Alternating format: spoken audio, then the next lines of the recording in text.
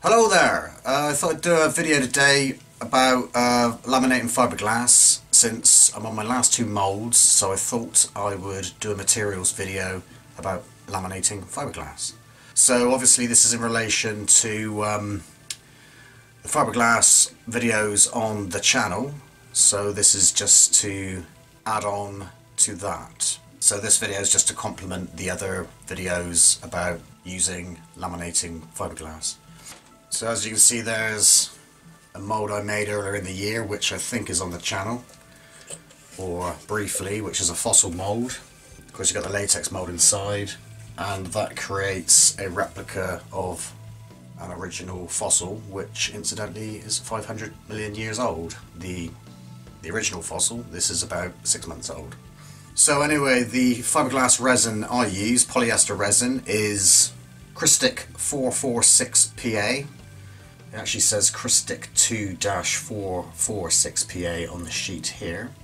I haven't got the bottles in my hand because they're all a little bit messy and out in the workshop. Of course I don't want to get resin all over the place and all the mucky bits and pieces. So anyway, Crystic 446PA Crystic 2-446PA or 446PA is a pre-accelerated thixotropic spray viscosity polyester resin with low styrene emission.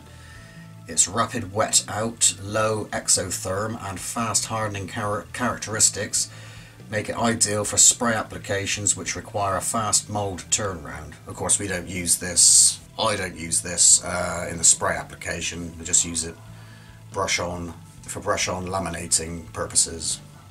Variants giving a range of gel times and viscosities are also available. During the spray-up phase, styrene emissions from Crystic 2446PA are considerably reduced compared to normal spray applied resins. Again, the, the spray doesn't apply to what I use it for. Well, not in this moment in time anyway. So we've got formulation here. Crystic 446PA and its variants should be allowed to attain workshop temperature, which is between 18 degrees Celsius and 20 degrees Celsius. I don't know what that is in Fahrenheit, so I'll have to do a to put that in the converter. They need only the addition of a catalyst to start the curing reaction, so we'll go into the catalyst in a moment. A colour change mechanism is incorporated into the Crystic 2446PA and its variants to indicate the presence of catalyst.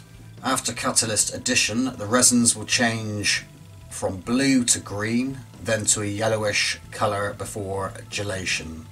The mould, resin and workshop should be at or above 15 degrees Celsius before curing is carried out. So post-curing, satisfactory laminates for many applications can be made from Crystic 446PA and its variants by curing at workshop temperature, 20 degrees Celsius.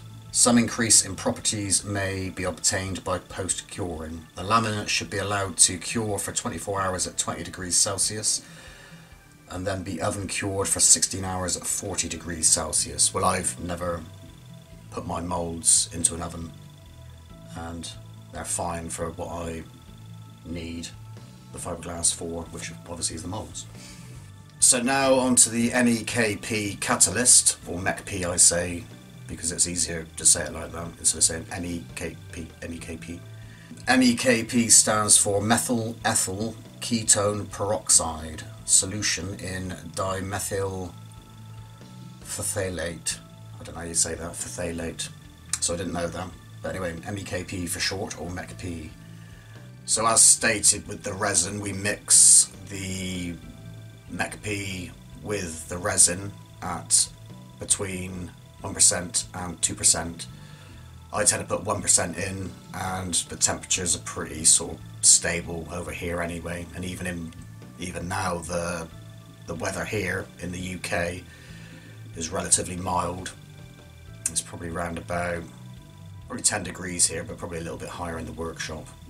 You can slow down the curing process by adding a little less MEKP or speed it up by adding a little bit more. So other additions, you want your acetone to clean your brushes and clean everything up after you've used the fiberglass resin for whatever application you're using it for.